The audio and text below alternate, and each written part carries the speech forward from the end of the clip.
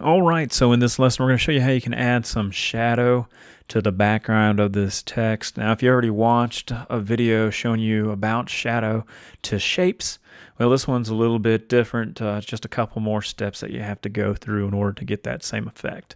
So uh, let's go ahead and get started. So I always tell you to click on the shape here and let's see what it is first before we start tackling the problem. So if we look down here, it says text, all right? So we need this to be a path in order to create a shadow to the path.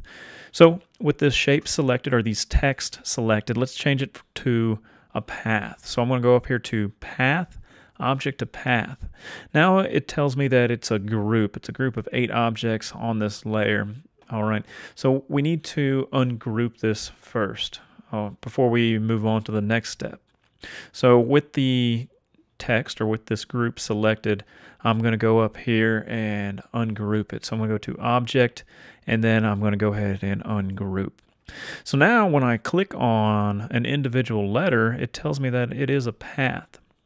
Okay, so we're halfway there. All we have to do for this is we need to union unionize the path so that we can create a nice uniformed shadow around uh, all the letters together at one time.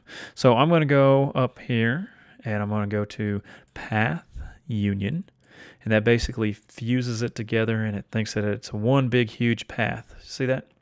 One big huge path. All right, so now we're ready for the shadow. So let's go ahead and change the color of this just so we can see what's going on. And I'm going to go up here to path, and then I'm going to go here to linked offset.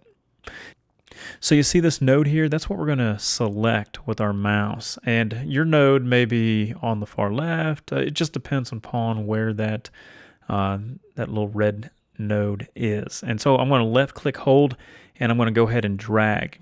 Uh, I'm going to go ahead and change this color to black so we can see the black background. And that's how you can make a nice uh, shadow uh, of the text. So we're not done yet because once you have your solution on where you want that node to be or how thick you want that shadow to be, uh, you of course can release. Then I'm going to go up here to this tool, the selection tool, and what I want to do on the back layer here, because it, right now it says it's a linked offset and we, we need things to be a path. So with that selected, I'm going to go up here to path, object to path, and that's it. Now we're, now we're done and we can actually go and save this as an SVG and we should be good to go. So you, you may want to separate it like this and just go to, up to File, save as, and then name it your SVG file. All right. So that's how that works. Hopefully you enjoyed the video.